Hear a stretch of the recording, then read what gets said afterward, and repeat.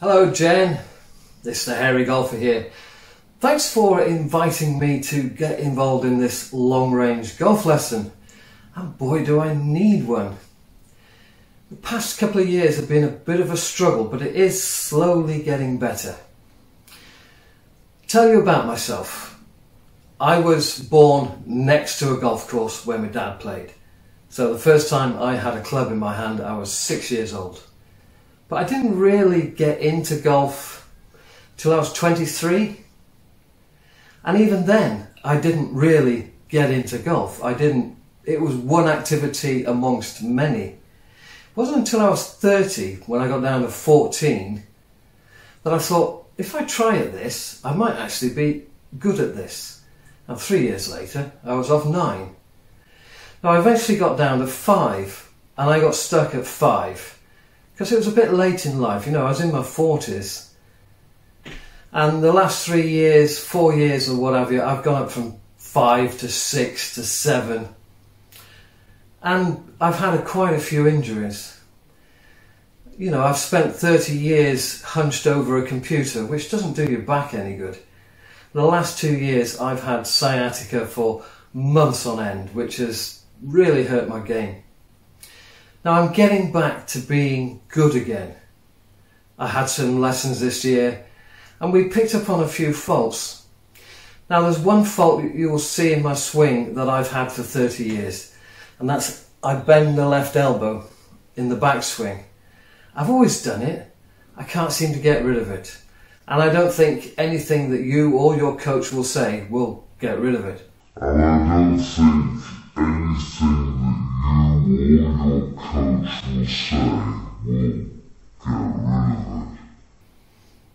Another issue I've had recently, when I take the club away, is I bow this left wrist. Now I have been getting rid of that slowly, but not every golf swing. It is not perfect. I've still got this bow in the left wrist.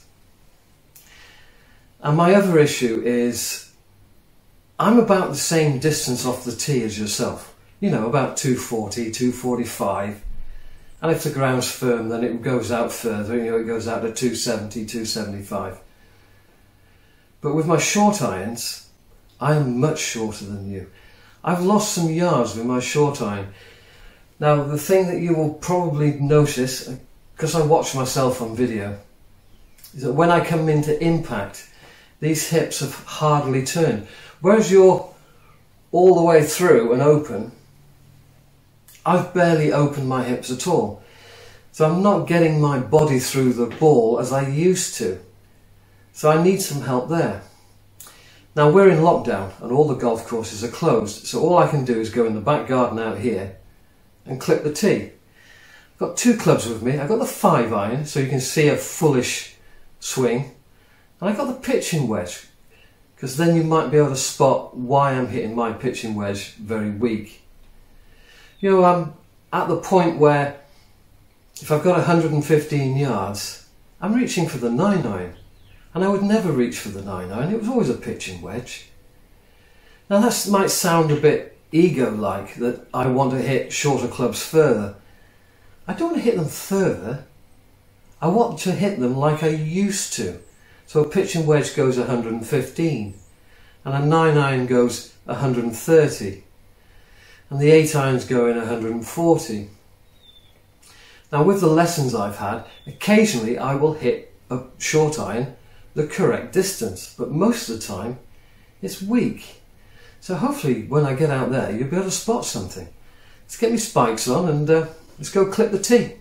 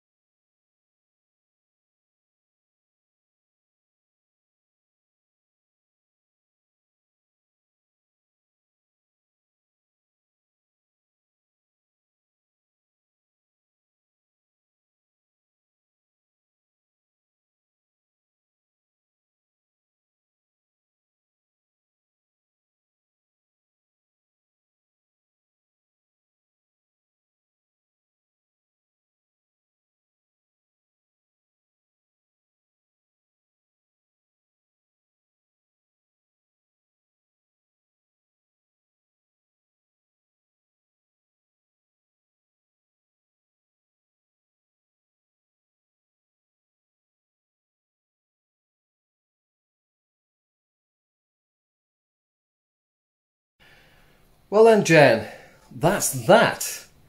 Now, considering I haven't picked up a golf club in three weeks because of lockdown, that didn't feel too bad.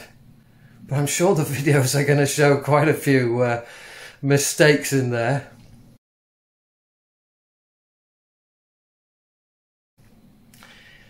Well, I'm looking forward to your reply.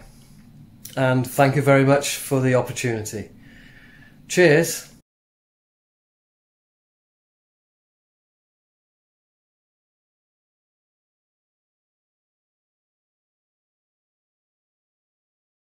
So for him, just this, he goes,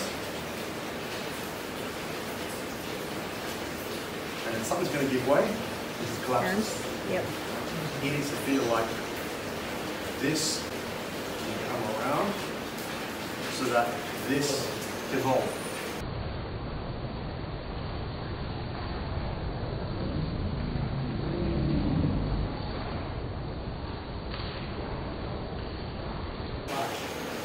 This doesn't come around, this can't hold. Yep.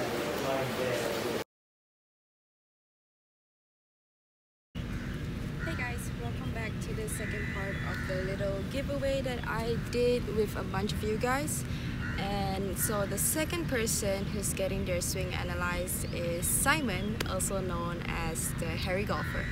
So if you saw that little clip that Eric talked about, and basically I want to talk about what you told me, which is that you have a big struggle with straightening your left arm. It's always bent coming up here. It's a lot of bend here which obviously would cause a lot of difficulties with consistency. And I must say, both Eric and I looked at your swing and we both agree that you save it really well. So, meaning past your backswing, your downswing actually looks pretty good. So, what Eric and I talked about was first of all, for you, he said it's actually a very easy fix. And I know that you're a big fan of Matt, so Golf Sidekick. So um, he will actually be releasing a similar video because he's working on the same thing as well with Eric. And what Eric told me to tell you was basically the drill that you need to do is um, it's kind of hard because I don't have a pocket, but I know a lot of men wear pants with pockets, right? So what you do is almost you put your hand in your pocket and tug yourself back.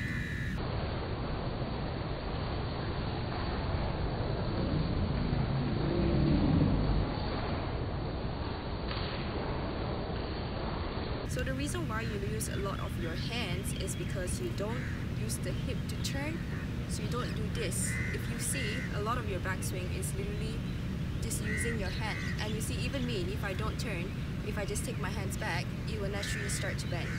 And I'm pretty flexible, so obviously one as we were saying one of the problems with doing that is obviously the lack of consistency and control and I also realized that with your shorter irons you actually go even further back compared to your 5 iron because you sent me a video of a 5 iron your pitching wedge so that could be why you're hitting it even shorter with your pitching wedge so something you really need to do is put your hand in your pocket and push your hip back because that's the feeling that you want to do that you want to feel in your especially because you're in knockdown now right so you're really trying to just implement the feel. So you put your hand in your pocket and push your pocket back.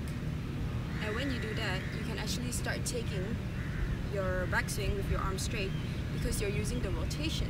So when you use your rotation and you just naturally, you don't push your hand back, but you naturally let the rotation bring your, take, take you through your backswing, you're gonna realize that your arm actually is straighter without even trying. So even your backswing even, at the top of your backswing, you might notice that it's shorter. And the reason why is because you're using your rotation and not your hands. Most of the time when you have a really long backswing, it's because people just use their hands. And as you can see in your front video, a lot of it was just taking a backswing with your hands versus using the rotation in your hips to turn, which is what you need to do right here.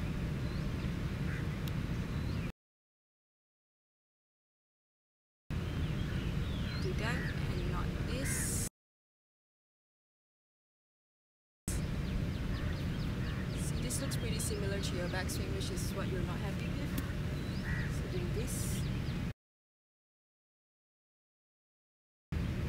versus doing this.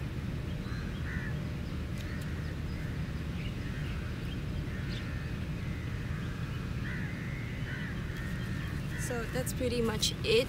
I think that's gonna help you a lot. It's something very simple, but you're gonna be able to see it translate into your golf swing, especially since you're in lockdown. Something you can do very easily. Um, I look forward to seeing how it helps your game. Obviously, you can't hit balls right now, but hopefully, you can start seeing that your left arm starts getting a little bit straighter, your backswing maybe gets more consistent, and yeah. Thanks, Simon, for always supporting me, and I'll catch you in the next one.